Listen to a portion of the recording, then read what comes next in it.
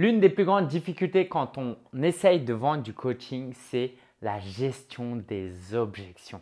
Mais si tu me permets, après cette vidéo, tu verras que c'est aussi potentiellement quelque chose d'extrêmement fun et sympa. C'est juste une histoire de point de vue. Je m'appelle Lingen. Ma passion avec mon équipe, c'est d'accompagner les coachs à développer leur business. Avant la fin de la vidéo, sache qu'il y a un lien en dessous qui te permet d'accéder à la masterclass où je présente les quatre piliers d'un business solide. En tant que coach, tu as besoin d'avoir les quatre si tu veux développer ton business. Ok, let's go. Alors pour les objections, la première chose à savoir, c'est qu'est-ce qu'une objection? Plus précisément, tu sais ce qu'est une objection, mais quels sont les différents types d'objections? Il y a les objections d'ordre rationnel et les objections d'ordre émotionnel. Il y a les objections conscientes et les objections inconscientes. Sans rentrer forcément dans le détail, garde en tête la chose suivante. C'est que ton travail de coach, c'est d'aider ton prospect à clarifier les choses, à conscientiser le plus possible ces objections et à les rationaliser le plus possible. Si ton prospect, par exemple, parce que tu es coach en euh, perte de poids, admettons, euh, te donne des raisons émotionnelles de ne pas rejoindre ton accompagnement alors que rationnellement, il en a vraiment besoin et que en fait, c'est des choses inconscientes qu'il a en tête mais qu'il n'arrive pas à l'exprimer et il ne sait même pas lui-même pourquoi il ne rejoint pas ton programme, bah c'est dommage en fait. Oui, c'est dommage pour toi parce que tu vas perdre une vente, une vente, mais surtout dommage pour ton prospect parce qu'il va rester dans la même situation et il ne va pas avancer et c'est triste. Donc, la première chose, c'est de poser des questions pour amener votre prospect à mieux se comprendre. Et donc ça, c'est la première chose que je te dirais. C'est d'anticiper les objections et de ne pas attendre que les objections se présentent. Et ça, c'est la force d'un bon commercial, un bon vendeur, un bon coach tout simplement. C'est-à-dire que tu ne vas pas attendre de présenter ton offre et à la fin, ton prospect te dit par exemple « Ah, oh, mais euh, je ne peux pas rejoindre, j'ai pas d'argent. c'est peut-être quelque chose que tu aurais pu anticiper. Ah, je ne peux pas rejoindre, j'ai pas le temps.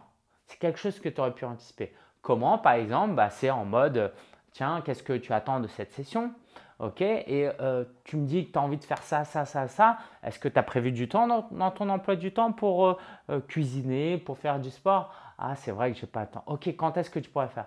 Non, mais je pourrais faire du batch cooking. Non, ok. Et du coup, quand tu vas présenter ton offre, il va plus pouvoir te dire j'ai pas le temps de me lancer puisqu'il te l'a juste dit avant qu'il pouvait s'organiser. Ok Par exemple, par rapport à l'argent. Quand la personne te dit ah mais j'ai pas d'argent bah, c'est quelque chose que tu peux anticiper au milieu de la session pour aller plus loin. Tiens, juste pour savoir, euh, est-ce que tu as prévu un budget pour aller euh, plus loin, pour euh, éventuellement te faire accompagner? Est-ce que tu es prêt à investir en toi pour atteindre ce résultat-là?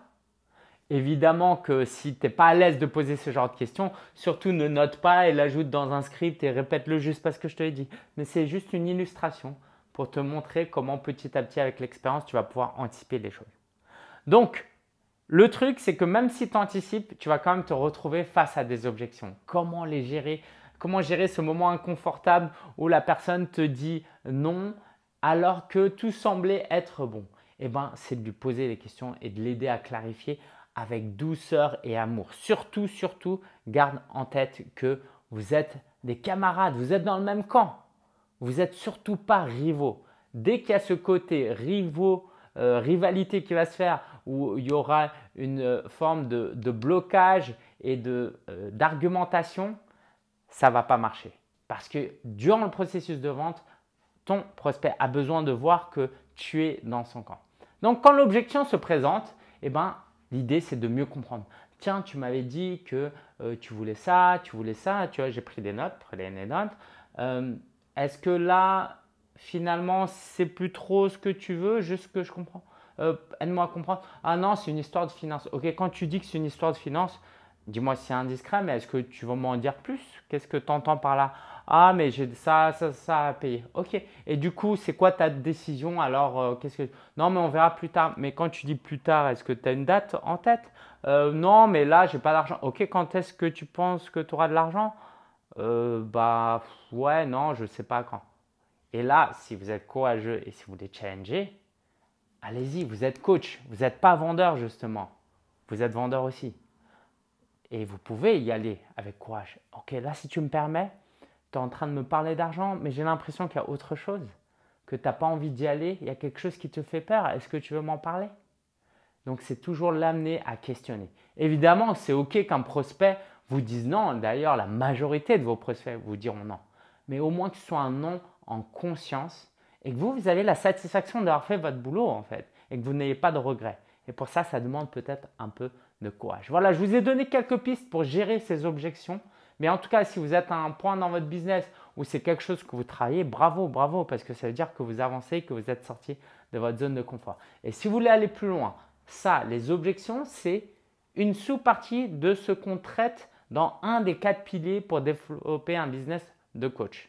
Si vous voulez apprendre les trois autres piliers et voir comment vous pouvez développer votre business, c'est très simple. Il y a un lien en description vers une masterclass. Cliquez dessus, regardez cette masterclass, vous allez voir, ça va changer votre façon de voir les choses et ça va vous permettre de mettre en place des nouvelles choses qui vont vous aider à avoir de nouveaux résultats. C'était Lingen, c'est un vrai plaisir. Je vous dis à très bientôt dans le lien ci-dessous.